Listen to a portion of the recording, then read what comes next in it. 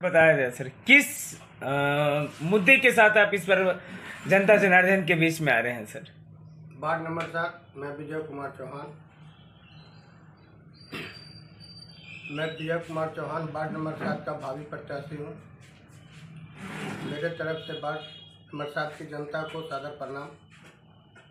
मैं विजय कुमार चौहान घोषणा करता हूँ कि इस चुनाव में जनता जनार्दन जीत दिलाती है तो मैं शिक्षा स्वस्थ नल जल,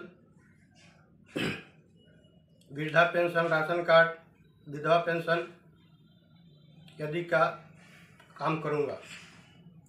साथ ही मैं युवा एवं महिलाओं के लिए कैलाश विकास योजना का तरह ट्रेनिंग दिलाकर रोज़गार के लिए जागृत करूँगा। और सर अभी सर क्या जैसे कि यहाँ मौजूदा बहुत सारा दिक्कत है मौजूदा वार्ड पार्षद के द्वारा कोई विकास नहीं हो रहा है। तो आप यहाँ की जनता से क्या अपील करना चाहते हैं? अपील क्या कर सकते हैं? जब हम बनेंगे तब तो ही हम कुछ कर सकते हैं। अभी जो हमसे बनता है श्रम कार्ड वगैरह हेल्थ कार्ड वगैरह। ये सब आप कर रहे हैं? जी कर रहे हैं। ओके क्या नाम हुआ आपका पूरा मेरा नाम विजय कुमार चौहान हुआ। ठीक।